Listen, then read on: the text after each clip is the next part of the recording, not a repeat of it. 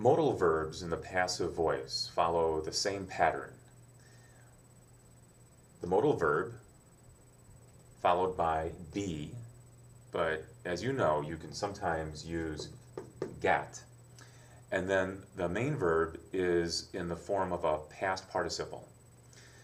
In this example, the modal verb is can, but you can also use could, will, must, may, might, should, could.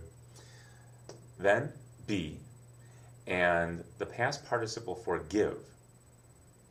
Give, gave, given. In this sentence, the subject is you. You can give, and the object, money, to them. This is the direct object. This is the indirect object. And it's in the active voice. You can change this sentence to two different sentences, both in the passive voice.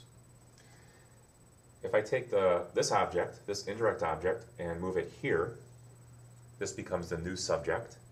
They can be given money.